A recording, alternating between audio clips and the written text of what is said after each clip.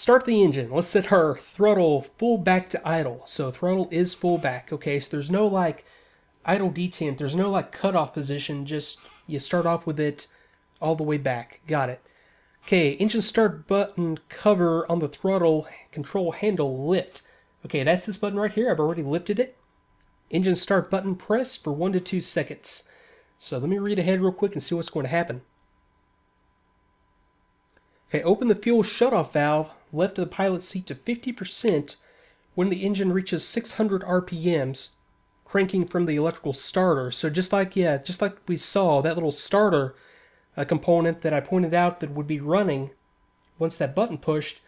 Okay, yeah, that's what's going to be, uh, yeah, that's exactly how it works. Okay, so when the engine reaches 600 RPMs, and I'll be going off of this gauge, 600 RPMs will be just above halfway. This is 1000 RPM right here on the inner dial. So I'll be able to actually gauge it, even though it's not specifically, you know, the outer dial is for 1000 to 1100. I'll still be able to use the tick marks to tell me when I get to 600 RPM. At 600 RPM, I open up the fuel shutoff valve 50%. How does this work? Okay, so it's a mouse wheel actuated thing. Okay, so that's that's closed. So I just need to gauge uh, about where 50% is on that, and I'll, I think I'll be able to eyeball that. Or I could just press home. I think that would take me to 50% automatically. That might end up what, being what I have to do. As engines reach 900 to 1200 RPM, press and hold right shift home to move the fuel shutoff lever to the fully open position. Check engine idle speed to stabilize at 24 to 2600 and EGT no greater than 650. Okay, so EGT this gauge right here, no greater than 650. Got it. And uh, tachometer is going to be up at 26 to 24 to 2600. So right here in, yeah, right here in this area. Okay, then I check that the generator off light extinguishes as the RPMs pass through 4500, indicating normal operation of the generator. And here's my generator off light, which you can see is kind of hard to tell in this uh, the sun angle. But yeah, that is illuminated. It's telling me that I have power on the aircraft, except I don't have my generator running. And once the engine increases past 4,500 RPM, then that light goes out, and then I can safely remove external power because I have the generator providing power. Okay, so let's run through that real quick. I think I've got the gist. Okay, so I've got, okay, full back, lifted, Let's press it for one or two seconds. I'm going to use the uh, the button that I have on my HOTAS to do this, and I'll be watching for 600, and then I'll come back over here, open this halfway. Okay, so yeah, I'll, I'll, this might take a couple of attempts. Okay, button depressed, one to two seconds. Okay, starts commencing. There's 300, 400, 500, 600. Let me go for 50%. Okay, I could hear it coming up. I don't think that did it. Go a little bit op more open. Okay, 50% coming up through... Oh, I don't think that's going to do the job. I'm going to have to give that another attempt because I couldn't gauge accurately where 50% was. So... Okay, I'm going to uh, run the risk of... Uh, of a hot start on the engine. I think that might be might be uh, mentioned in the manual. And a lot of times what will happen here is if you abort a start, for in a case like that, you'll still have residual fuel just kind of um, uh, left over in the in the system. So once that, if that stuff started to ignite, then you could, uh, depending on where it's at, you could overheat the engine, and a lot of other bad stuff has to go on. But okay, so let me try that one more time. Okay, I've just got to gauge where 50% is. I don't want to do it using a keyboard command. I want to do this kind of um, on my own. Okay, so it's just uh, it's just one really good twist of the uh, twist of my uh, of my mouse wheel. Okay, so I've got idle. Go again. Pressing button. Okay, starters engage. Release button. 300, 400, 500, 600. 50%. That sounds a little bit better. Uh, what was next? Um, 900, 1200, all the way open. So let me open it all the way.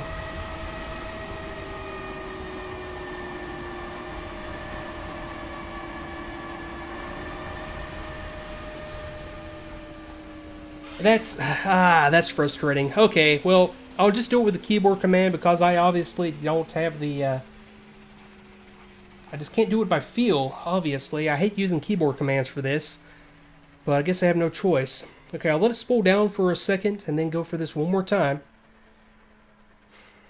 Ah, frustrating. Okay. Starter engaged. I would also worry about overheating the starter. Okay, 600, 50%. Okay, 900. Full open. Okay, I got past it that time. I think I was just... Uh, I don't know if I, it might have just had the timing off on that a little bit, but or I might have just not had it exactly at the 50% setting. I think that I'll, I'll, be able to get that. I'm sure it'll just take a little uh, a little feel. And that um, okay. So I've got an ATC communication coming in, and I'm stabilized at about uh, 12. I'm sorry, 25, 2600, which is within the limits. EGT no greater than 650. Okay, it's stabilized about 490, 492 or so. And okay, I've got my generator light still on. That's going to extinguish once I go past 4500 RPM. Now, okay, that's what I was supposed to do right there. Okay, let's go ahead and increase the engine power to 45, or I'm sorry, to 5000 RPM. That'll be right here, 6 o'clock position on the dial. Okay, I've got the AI helper coming up. It's not being very helpful right now, it's just distracting me. Okay, generator light out past 4500. And let me just uh, carefully stabilize it right there at 5,000. It spools up so quickly that you can, or I'm sorry, so slowly that you could easily just kind of get the, uh, the wrong setting because it takes a while for it to stabilize. Okay, that's it, 5,000 RPM. Okay, generator light out. Now I can contact the ground crew to disconnect ground power. I will do that now. Let me go to F11, F8, and ground power up.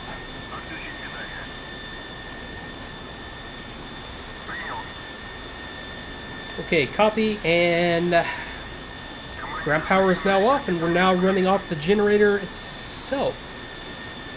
Uh, yes, I know, remove wheel chocks. I'll get to that later. I'm not ready to do that.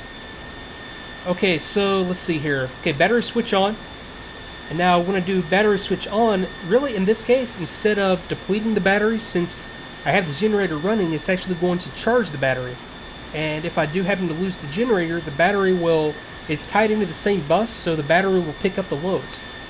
So let me, let me ops check that real quick. I'm going to kill the generator, but I'm still going to have power because the battery is on. Yep, there we go. Generator back on. I, it never told me to check my voltage. I'll, I'll do that real quick. So to press it, voltage is up around 30 volts, which is a little bit high. I would have expected something more like a little 28 volts or maybe a tad less, but okay. It seems within uh, within reason. And I'm pulling, what, 40, 50, 60, 70... I'm pulling about 55 amps, which I don't know if that's uh, if that's good or bad on the MiG-15, to be honest, but okay, that'll work. Okay, now let's close the canopy. Left control C or what are you? You are right canopy lever open close. You did nothing. Same thing for the left. Uh, I had one more up here. Okay, that was the that was the trick. Do the top one. Okay, canopy closed, and I would um, I would assume lock. I saw I saw all this stuff just kind of um. Okay, yeah, just uh, I can see what happens now. The tooth just kind of okay, as it slides forward, it engages right here, and is there a mechanism, there's something I'm supposed to throw to lock it? I think it just locked automatically. You pay attention as this closes. Okay, it engages. I'm going to assume that that's closed and locked. Maybe it'll tell me once I get into the procedure. Okay, I think, yeah, I, I think that's all there is to it. I don't think there's a separate lock control. But if, uh, if I run across one, I'll be sure to uh, engage it. Now, let's pressurize the cockpit by turning the pressurization valve until the pointing index moves past the gray mark to the X, blue, cold air, yellow, warm air, or red, hot air. position, and then I turned the pilot's oxygen supply valve on. Oxygen was over here on the left side. Let's take care of this first, and let's go ahead and uh, get some air coming in here. Uh, this valve is what it's pointing to. Pressurization cockpit air valve. Okay, so I've got... Okay, there's the blue cold setting with the intermediate yellow setting, and then I've got the hot setting. We're going to leave it in the blue cold setting for now. That would be a good opportunity to go to the bleed air system and have a look at how this works. I'll be right back. Okay, this is a this is kind of a neat system. Let's look at what else is going on here. Now on the diagram, air off of the engine. This is bleed air coming off of the uh, off of the uh, engine compressor is fed into a filter.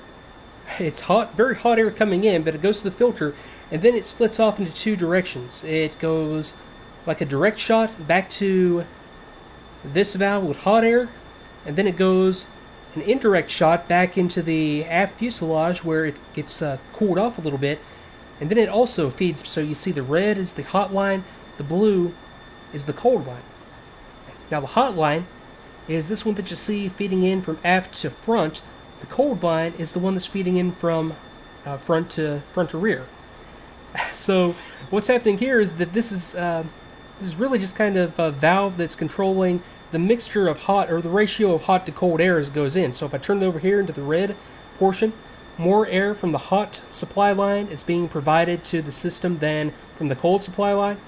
If I go to the middle, it's an even mix. If I go to the blue, it's more cold than hot going in. Now, I'll leave it, yeah, I'll leave it in the blue setting. Now from here, what happens is that it branches off.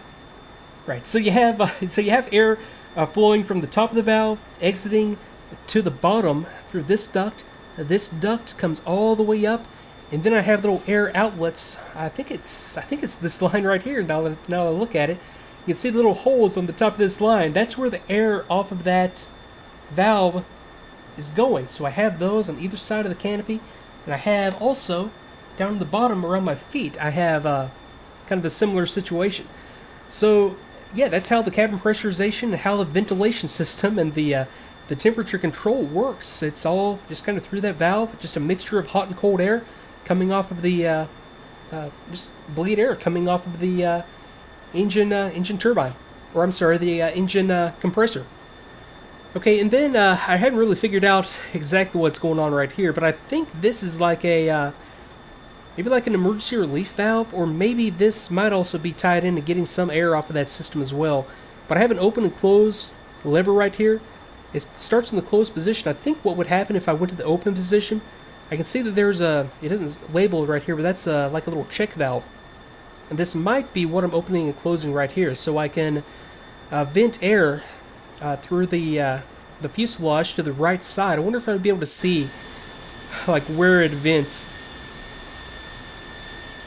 No, I don't see anything obvious like a panel or anything. It's probably just kind of uh, maybe under the skin, or maybe it's there. It's just not kind, just kind of not uh, not included. But yeah, I think that's going to allow me to uh, just have a, a means of uh, no, uh, I take that back. You know what that is? That's that's probably like a pressure relief valve right there. So that well, I I don't know. I, can't tell what this is. Maybe once I get a hold of the translated manual, that'll have a little bit more, or uh, maybe somebody is familiar with this type of system and can tell me the function of this valve in relation. Is that a pressure relief valve, or is that just a a dump valve uh, that would allow me to dump uh, cockpit pressure in case of like fumes in the cockpit or any other kind of like an emergency. So yeah, if you have your own theory on the function of this little valve and this little duct right here, yeah, let me know. But I'll I'll move on from here and uh, go to uh, yeah I'll go to some uh, some more stuff. So let me see where were we? Okay, so that was the cockpit pressurization and the basically the ECS system, environmental control system, part of it for the aircraft. Now I need to come over to the oxygen system.